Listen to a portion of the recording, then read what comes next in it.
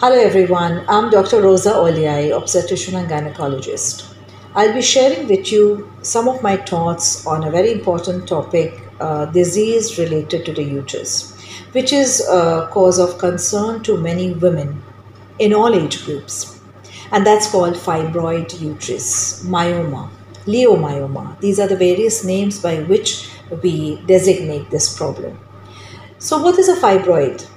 So, fibroid is a growth of the muscle of the uterus, which could be genetic changes in the muscle cells of the uterus. If you see the structure, this is a uterus. And if you can see these white structures which are here, they are tiny, tiny fibroids. So, depending on the site and size of the fibroid, the treatment starts. So, what are these fibroids? It could be from a tiny seed like a rice grain, you know, as small as that, which cannot be seen by naked eyes. Ultrasonography, maybe. It could be large, it could be inside the muscle of the uterus, it could be inside the cavity of the uterus, it could be even outside. So we have different, you know, sizes as small as a grain to a very large one. So, depending on the size and the site, the symptoms and the problems of the woman arises, and the treatment depends on these factors. Now, usually, if it's a small fibroid, it's within the muscle.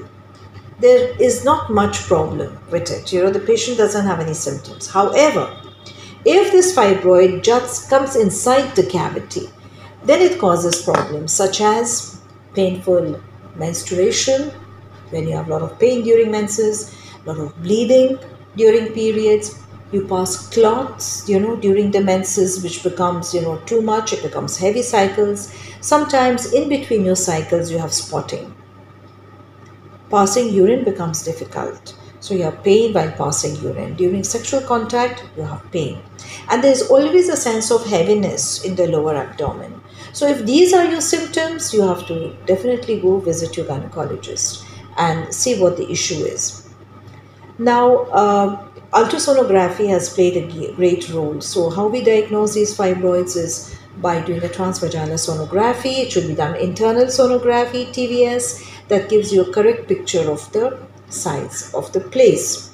Depending on the size and as I said, the place it is, the treatment starts. So if it's a very small fibroid, it's not troubling you much, maybe a little heavy bleeding, there are medications that can be given, can reduce the size of the fibroid. However, if it's troubling you, too much of periods, it's heaviness, depends on what your symptoms is, it can always be removed.